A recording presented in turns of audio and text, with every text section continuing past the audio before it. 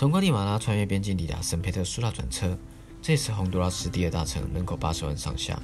十六世纪因作为西北农业集散地而兴起。城市在近代因在从香蕉与铁路的运输贸易而经济飞跃成长，但它却是世界上非战争区中最危险的城市，近几年来数一数二。这里是中美洲毒品枪支的主要转运站，这里的谋杀率也是世界之冠，又称世界谋杀之都。在这有洪都拉斯最大的巴士转运站，长途巴士会有警车前导开路，车内一前一后配备两位军人，平常普通保全配备警棍已经算谨慎。配备短枪情况大概已经比较紧张，但洪都拉斯这边的苏拉跟首都泰库斯卡帕，商家门口保全都是配备自动步枪，就连咖啡厅甚至文具店都是这样的基本配备。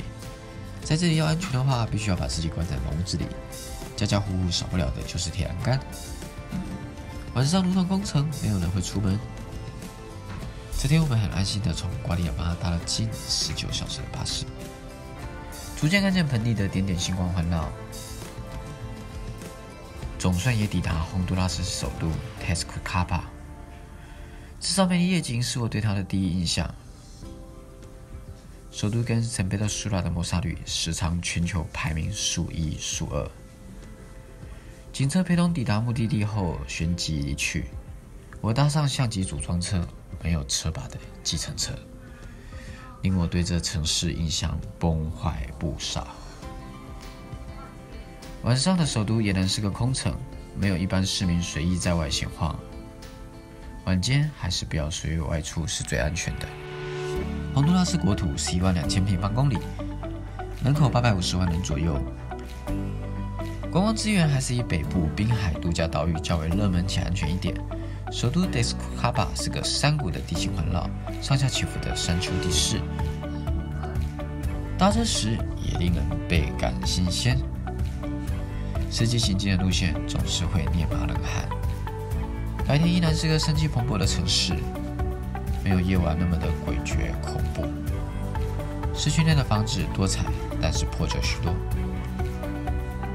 拥挤的市区巴士坐满准备上班的人潮。远处台湾的国旗飘扬天际。地处中美洲的洪都拉斯虽然是治安最危险的城市，但也是我们目前2019年仅剩十六个邦交国其中之一。或许这是个历史印记，拍张照留念一下吧。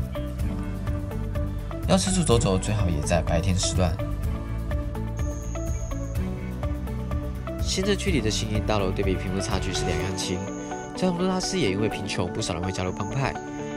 甚至晚间路边还可以看到直接身上衣、露出内内招客的女郎。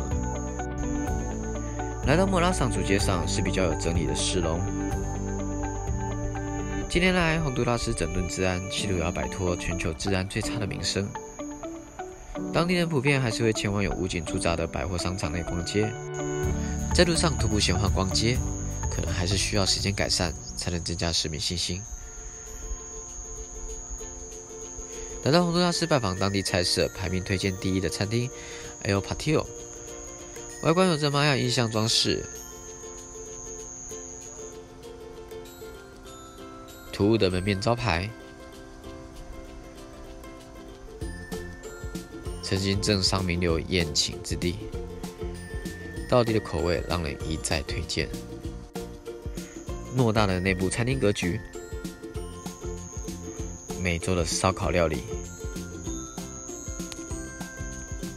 炸香蕉酥脆不油腻，搭配七十分，咸香口感非常下酒。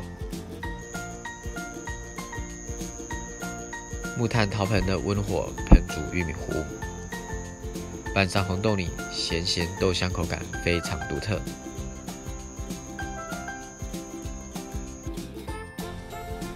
在点上有名的拿手总统牛排，永未累积下对这城市的印象。晚间小肚子同时，夜色缓缓来临，城市气氛开始慢慢紧戒起来，而夜景却让我失去戒心，美丽却这样闯进了回忆里。我是台湾人，我是 Cookie，我在洪都拉斯。